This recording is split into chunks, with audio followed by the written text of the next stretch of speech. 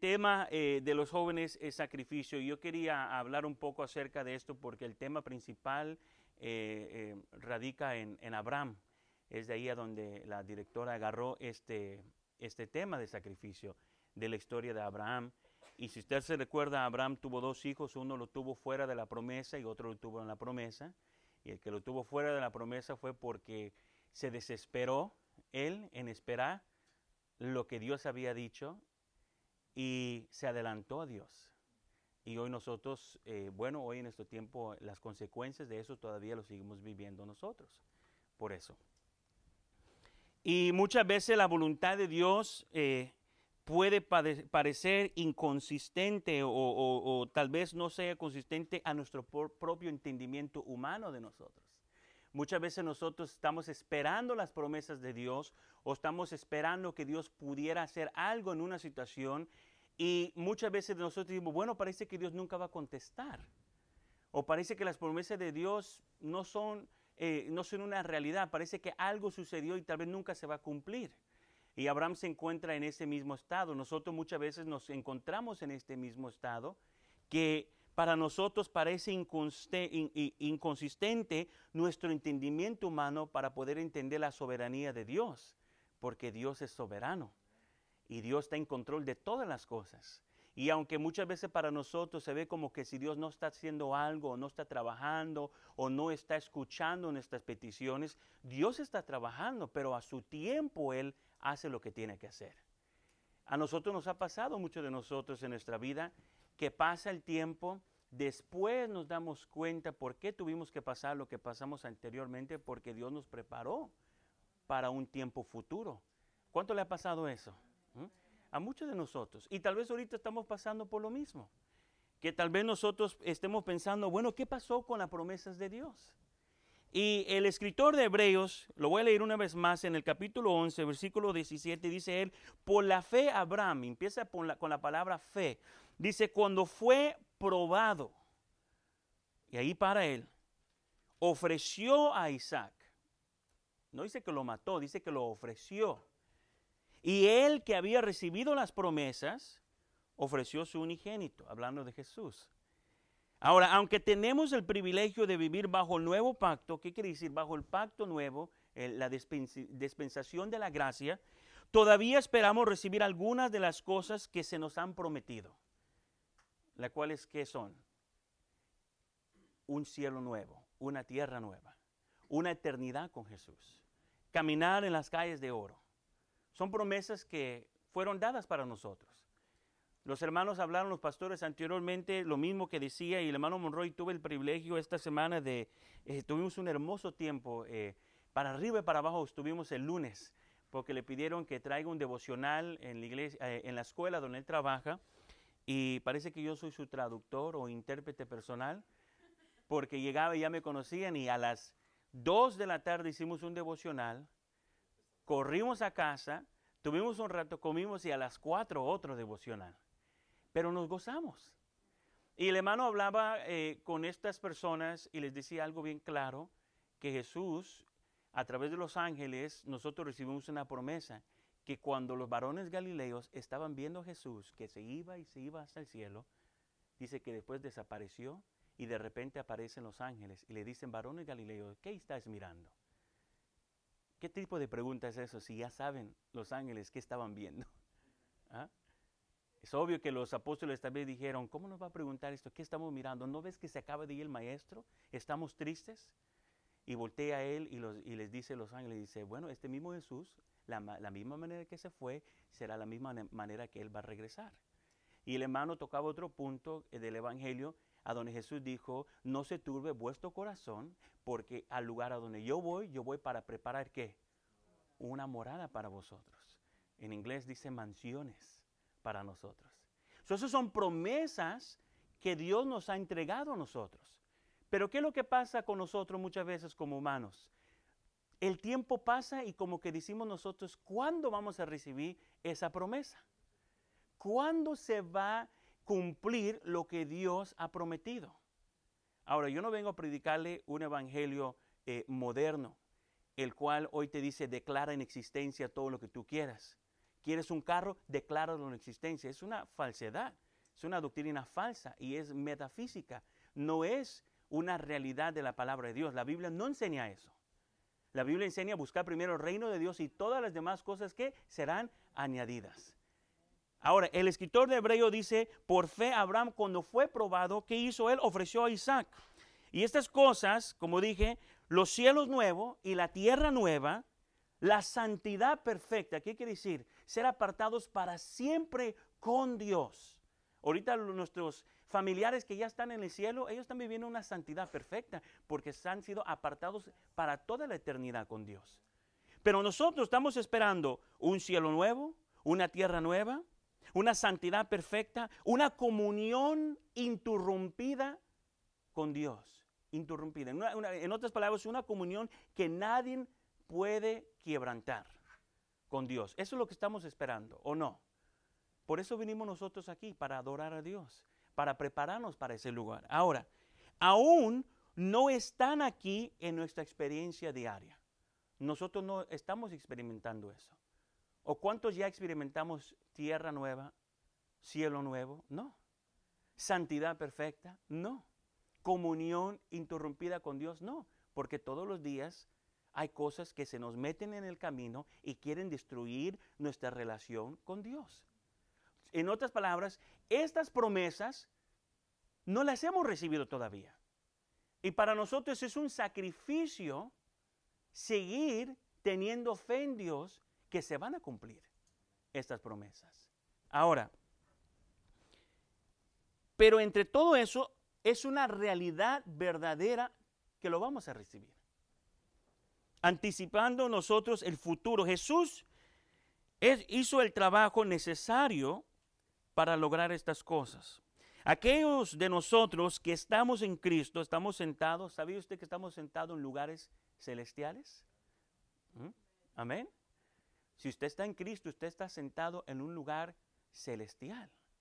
Vaya conmigo al libro de Efesios capítulo 2, versículo 4 al 7. Mire la carta del apóstol Pablo a la iglesia en Éfeso, capítulo 4, versículo 7. Efesios después de Gálatas. 2, 4 al 7. Dice, pero Dios, que es rico, en otras palabras, abundante, en misericordia, por su gran amor que nos amó, aun estando nosotros muertos en pecados, nos dio vida juntamente con quién? Con Cristo. Por gracia sois que salvos.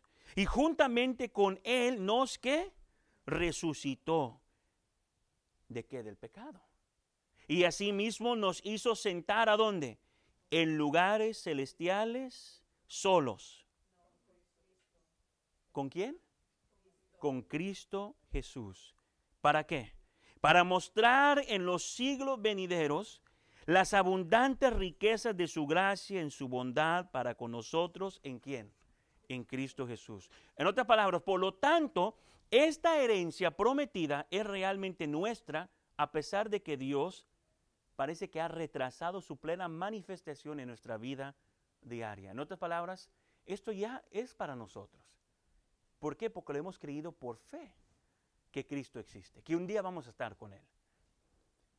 Ahora, solo a través de la verdadera fe vamos a poder perseverar y recibiremos estas promesas, primero como una realidad y luego como una que vamos a poder experimentar.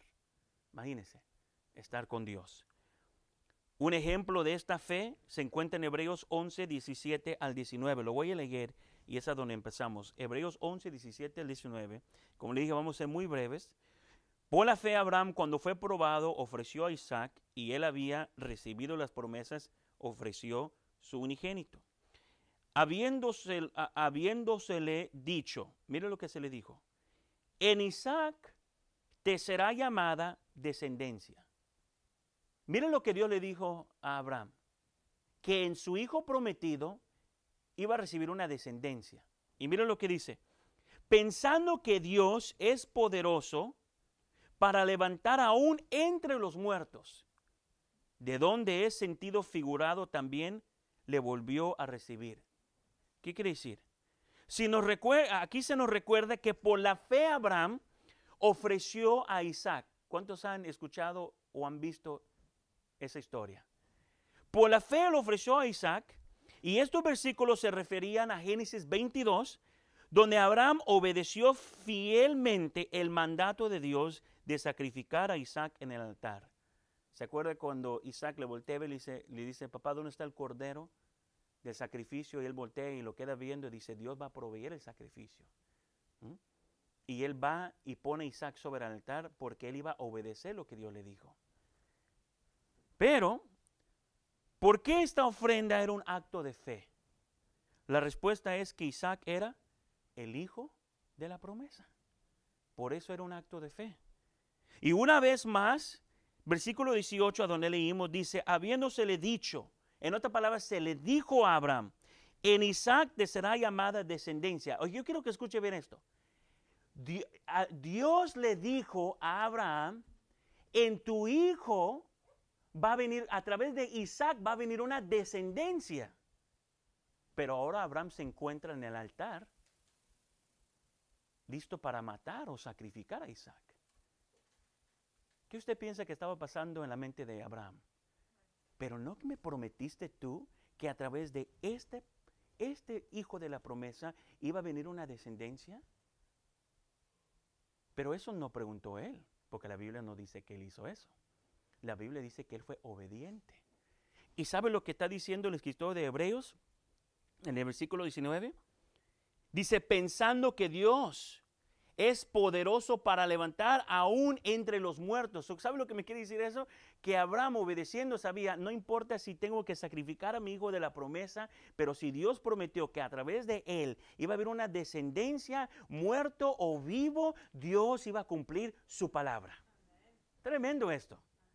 Muerto o vivo, Dios lo iba a cumplir. Ahora, recuerde que Dios le prometió a Abraham muchos descendientes pero pareció demorar mucho tiempo en cumplir esa promesa. Sí, parece que demoró mucho tiempo. Después de muchos años, después nace Isaac. Ese transcurso de tiempo parece que como que si Dios dijo, te prometo esto, y pasó muchos años y como que Dios se olvidó. Pero cuando Dios dice algo, Él cumple, no como el humano. Y en Génesis 21, 12 dice, y Sara concibió y dio, y dio a Abraham un hijo en su vejez en el tiempo que Dios le había dicho. ¿Qué pasó? Dios cumplió su promesa. Imagínense lo difícil que fue para Abraham obedecer a Dios a través de ese sacrificio. Cuando usted tenga tiempo, vaya a su casa hoy y léalo en el libro de Génesis. En el libro de Génesis, lea usted la historia de Abraham y Isaac. Ahora imagínese qué difícil fue para él obedecer a Dios, sabiendo que él era el hijo de la promesa, que iba a ser su descendencia a través de él, pero en este momento ahora él tenía que sacrificarlo. Dios le estaba pidiendo que hiciera algo que pudiera cancelar o invalidar la promesa. Es como que si Dios fue en contra de su palabra.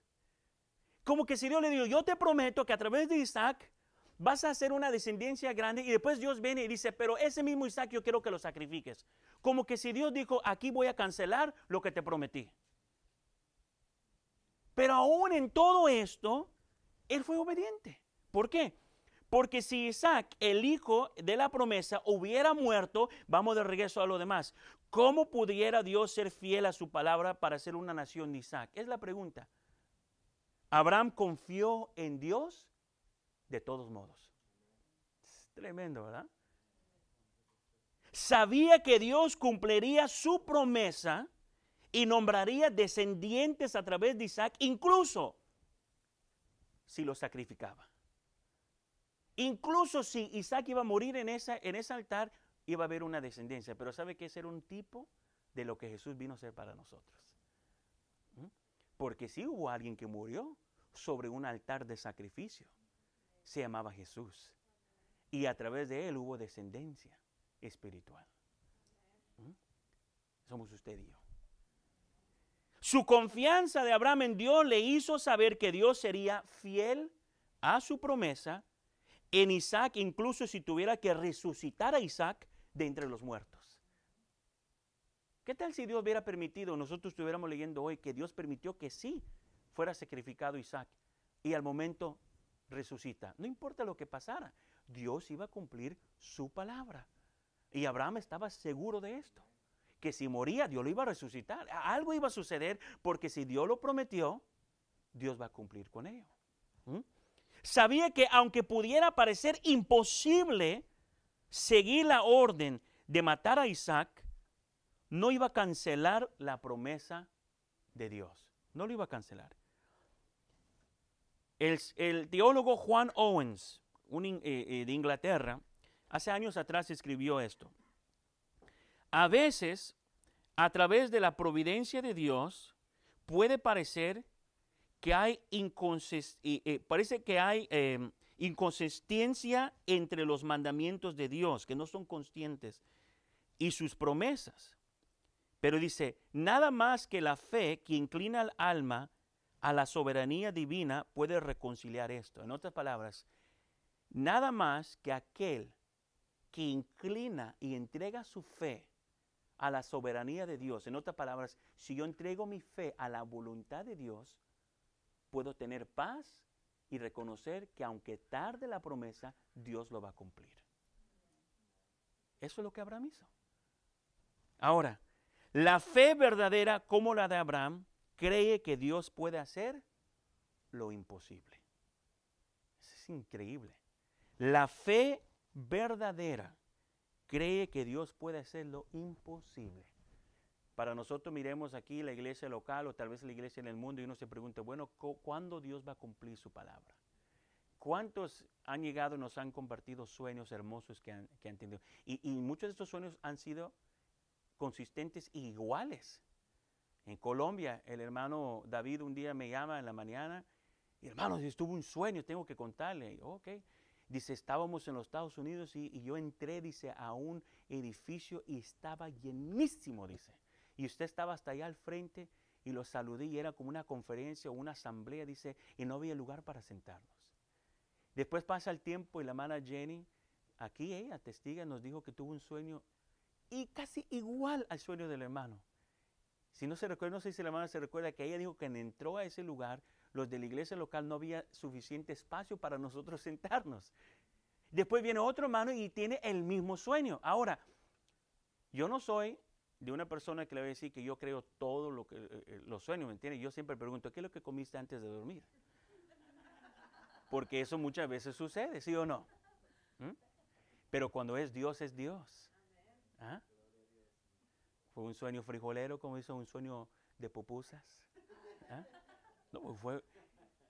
Pero cuando tres o cuatro personas tienen un sueño muy similar, quiere decir que Dios está tratando de decir algo. Ahora, para nosotros es creer en esa promesa, creer en lo que su palabra dice, pero lo más importante es que Dios va a medir nuestra fidelidad de nosotros a través de nuestra obediencia y fidelidad a su palabra.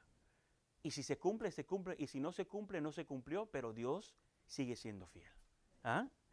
Isaías 53, no vamos a ir allí, vaya a su casa, léalo. Si usted quiere ver a Jesús en el Antiguo Testamento, Isaías 53 nos da una imagen clara del Mesías, Jesucristo, y nos hace saber que tuvo que morir por nuestros pecados y los sufrimientos por los que Él pasaría. Léalo, Isaías 53.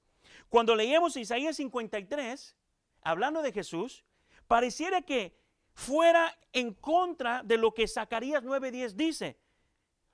Zacarías 9:10 nos enseña a un Mesías que iba a gobernar todo el mundo. Y uno dice, pero Isaías 53 nos enseña un Mesías derrotado en la cruz, muriendo. Entonces, ¿qué pasó aquí? ¿Será que la palabra se confundió? La palabra no. Dios cumplió su promesa. Y ahora nosotros vemos que en ambos son perfectos, esas dos escrituras. Debemos tomar nosotros la determinación en nuestro corazón de confiar en Dios, incluso si su voluntad a veces puede parecer, eh, puede parecer en contra de nuestro propio entendimiento humano. Tenemos que confiar en Dios, pase lo que pase. Si nuestra oración y le pedimos algo a Dios y no se ha cumplido, usted sigue orando, creyendo que Dios lo va a hacer. No estoy hablando de materiales eh, físicos. Señor, estoy orando por un carro, un carrazo que me des. No, no estoy hablando de eso. Estamos hablando de que lo principal que usted debería estar orando es por crecimiento espiritual. Dios, ayúdame a entender tu palabra mejor. Señor, si no he estado orando mucho, ayúdame a, ese deseo que yo tenga para poder buscar más de ti. Señor, ayúdame para poder eh, eh, acercarme más a tu presencia.